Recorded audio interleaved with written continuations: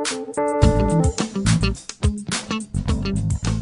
that I tell people when talking about autism is understanding a few things. First, there are varying degrees of autism.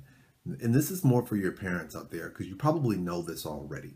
But I always tell people when people lead off with parents lead off with to me, my child is autistic. And I'm like, okay, tell me about the degree of, of autism that they have. And they're like, what do you mean by that? Well, you know, it's like most impairments, it's not one size fit all type of situation. Each person's condition varies. So what I need you to do is I need you to describe for me, you know, what the limitations are, what types of problems that they have, because it's important to understand that just because your child has autism doesn't necessarily mean that it's a slam dunk.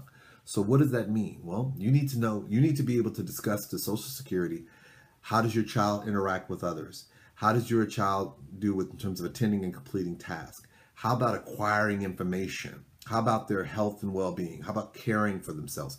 All of these things may seem annoyingly redundant when you're asking the questions, but the simple fact of the matter is, is that if Social Security doesn't know how limiting the condition is, merely just saying that the child is autistic is not enough. So I can't stress this enough. Don't just focus on the fact that the child has autism. You want to be able to discuss in detail the limitations that they have and be able to provide the medical evidence that supports that the limitations from their autism is at such a level that they should be entitled to disability benefits.